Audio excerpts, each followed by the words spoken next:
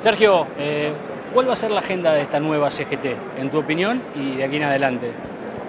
la agenda es la agenda de todos los trabajadores y trabajadoras, ¿no? La necesidad de más empleo y el que lo tiene, eh, preservarlo, mejorar salarios eh, y trabajar para que Argentina esté bien, esté bien políticamente, esté bien socialmente.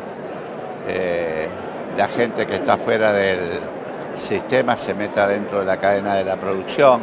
Es decir, hay mucho por hacer y la CGT tiene un compromiso social muy fuerte, así que me parece que es una responsabilidad muy grande.